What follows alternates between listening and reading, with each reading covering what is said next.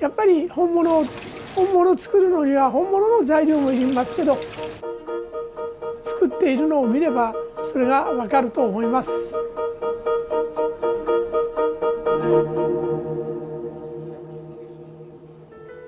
私の名前は佐々木豊です、えー、この道に入ったのは18からですそれからですから約45年フグだけを専門に勉強して今今日にあります本物の味を作るのには最低10年は必要だと私は思います、えー、メスにもオスにも毒はあるんですがでもオスにもメスにも血がありますから血と一緒に混ざってる無色透明のテトロドドキシンっていうのはいけないわけなんです。フグを食べるっていうのは贅沢。食べたことのない人もたくさんいると思います。だからやっぱり一度はフグを食べてみたいっていうのは気持ちだと思います。魔界の味説明しようがないんですけどやっぱり美味しい美味しいこの上もない、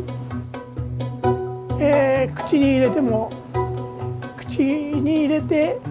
えー、優しさがあるし油がなく。フグの場合には総合芸術で器も素晴らしいものを使えばそれだけ、えー、際立つしあのただ作ればいいっていうのと作業と仕事の違いで本当に人の命を預かって料理するものですけど絶対に安全なものです。作っているのを見ればそれがわかると思います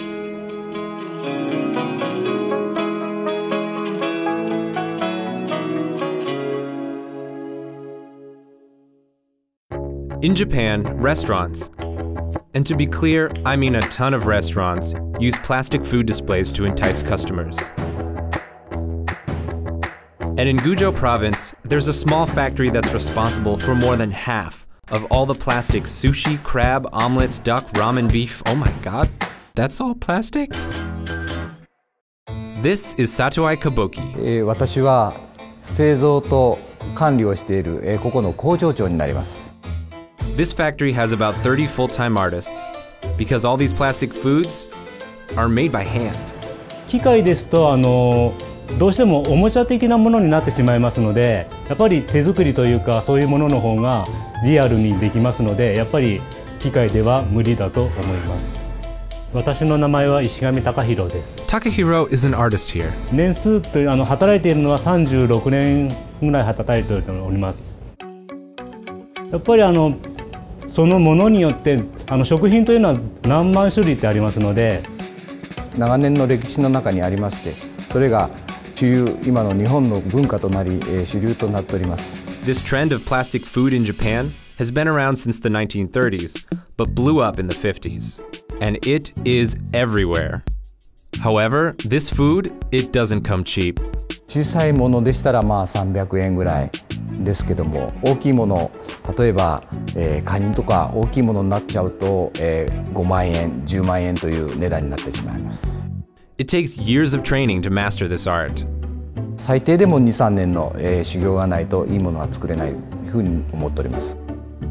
Quick example. A bowl of ramen might take three hours to make, while a fish, many, many more.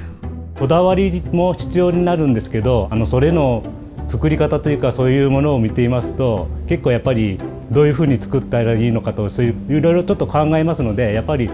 そういうものの魅力ですねいかに本物に近づけるかということでいろいろと考えております。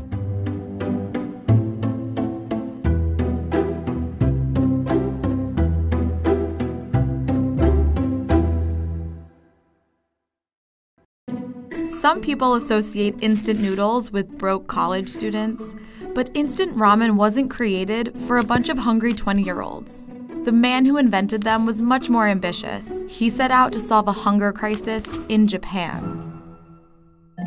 After World War II, food shortages plagued Japanese cities. So the US supplied wheat flour and encouraged the Japanese to make bread. One man, named Momofuku Andu, didn't understand why his people would make bread instead of noodles, something that was already part of their culture. Andu decided to take matters into his own hands and create a new ramen made to last. He spent a year trying to figure out how to preserve the noodles. He needed a non perishable, tasty, and easy recipe, but it was a challenge to maintain the robust flavors and unique texture that most people were accustomed to. It wasn't until his wife was making dinner one night and he threw some noodles in a bowl of hot tempura oil that he realized flash frying the noodles was the answer he had been looking for. This method not only dehydrated them, it left small perforations that allowed the noodles to recook quickly. And there you have it instant ramen noodles became an instant success. Andu's products gained notoriety when he introduced the packaged ramen in the 1950s and later cup noodles in 1978. His company began selling upwards of 40 billion units every year, and Momofuku Andu became a culinary icon in Japan. So, the next time you heat up a cup of instant noodles, remember you're slurping down a little piece of history.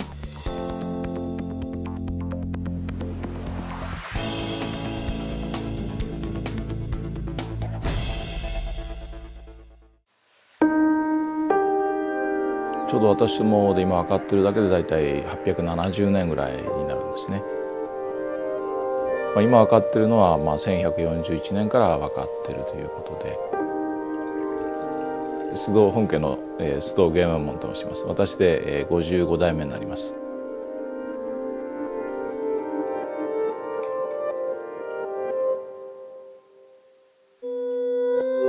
The Sudosake Brewery in Obara, Japan might be the oldest in the world. Situated in a lush valley, the brewery is surrounded by ancient trees. あのもともとだいぶ古いあの木がたくさんあって一番古いのはもう900年ぐらいだったんですね、まあ、いろんな意味でその木がですねあの我々の酒造りそれから生活に深い関わりとさまざまなそのサポートをしてくれているということになります。でそういう木があるのでいい水を集めてくれたりそれから蔵をその強い日差しから守ってくれたりということでまたあの地震の時もあの建物の下にその木の根が入っていたので地震を柔らかくしてくれたりとか。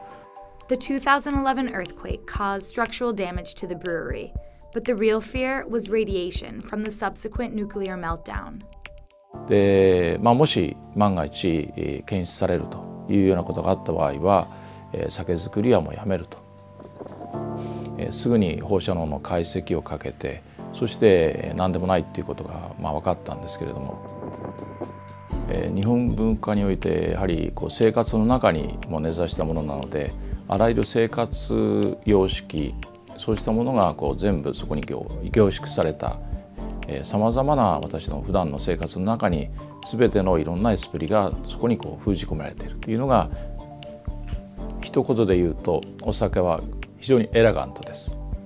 ですからただ単にあのお酒を販売するということではなくてさまざまなその日本の文化その良さそうしたものを、えー、お伝えする。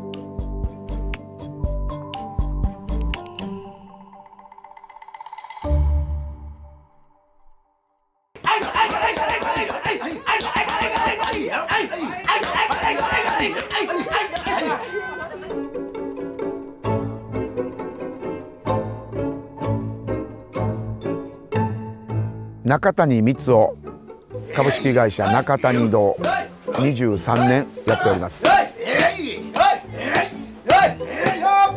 伝統的な文化でもあってですねまあおめでたい時にはもうお餅は本当につきもんなんですよね。美味しいお餅はですね柔らかくてよく伸びる。引っ張ったらよく伸びる、えー、もち米っていう米があってですねこのもち米で作るのがお餅なんです。まあ2分ぐらいでしっかりと早くつきます。これでお餅ができます。上北山村全部じゃないんですけど、まあ、一部の地域はですねあのー、早くお餅をつくんですよ。まあお餅つき、えー、いろんなお餅つきありますけどもあの一般的には最初から1人がついて1人がこねる。えー、っとね練習あのこれがお餅つきの練習っていう練習はないですね。まあ1秒につき3回ついてるっていうことだったんです。これはあの手返しのコツっていうのはあのもうこれはタイミングしかないんです。タイミングを取るためにですねやはりあの声をかけながらあのやります。一言なんです。もう真剣勝負ですからお餅つきはですねそうですねあの誰でもできます。やる気さえあれば誰でもできます。命がけでお餅をついておりますので。